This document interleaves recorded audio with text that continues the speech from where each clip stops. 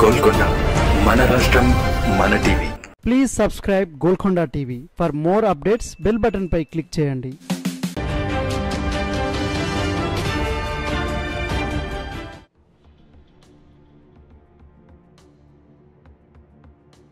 తెలంగాణలో మరోసారి ముందస్తు ఎన్నికలు రాబోతున్నాయా? కేసీఆర్ ఆ దిశగా అడుగులు వేస్తున్నారా?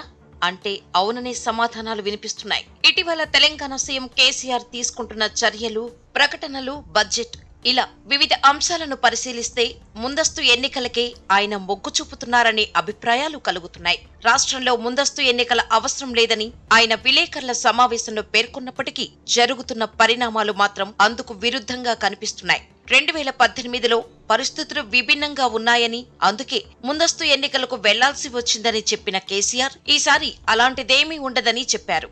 కానీ కేసీఆర్ వ్యూహాలను అంచనా వేయలేమని ఆయన మరోసారి అసెంబ్లీని రద్దు చేసే అవకాశాలున్నాయని నిపుణులు అంటున్నారు.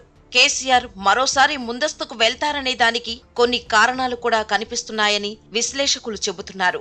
జాతీయ రాజకీయాలపై దృష్టి పెట్టిన కేసీఆర్ రాష్ట్రంలో తన తనయుడు కేటీఆర్ను సీఎం అభ్యర్థిగా ప్రకటించి ముందస్తుకు వెళ్ళే అవకాశం ఉందని అంటున్నారు. మరోవైపు తన పాలనపై ప్రజల్లో మరింత వ్యతిరేకత పెరిగే కంటే ముందే అసెంబ్లీని రద్దు చేయటం మంచిదనే భావనలో ఆయన ఉన్నారని తెలిసింది.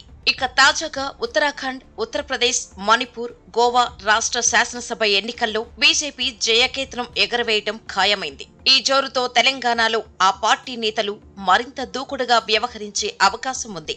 ఈ ఫలితాలు తెలంగాణలో బీజేపీ బలోపేతంపై ప్రభావం చూపుతాయనడంలో సందేహం లేదు. అందుకే రాష్ట్రంలో బీజేపీ ప్రధాన శక్తిగా ఎదిగే ముందే కేసీఆర్ ముందస్తు ఎన్నికలకు వెళ్ళాలని అనుకుంటున్నారని టాక్. అందుకే ముందస్తుకు సూచనగానే బడ్జెట్లో సంక్షేమానికి పెద్దపీట వేశారని చెబుతున్నారు. దళిత బంధుకు పెద్ద మొత్తంలో నిధులు కేటాయించి ఆ వర్గం ప్రజల అసంతృప్తిని చల్లార్చే ప్రయత్నం చేశారనే వ్యాఖ్యలు వినిపిస్తున్నాయి.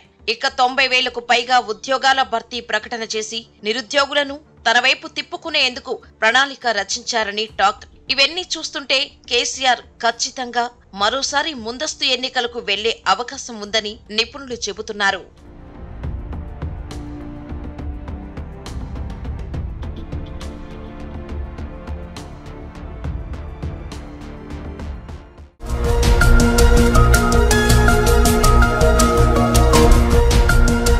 సత్యాలు చెప్పడానికి సాహసం కావాలి.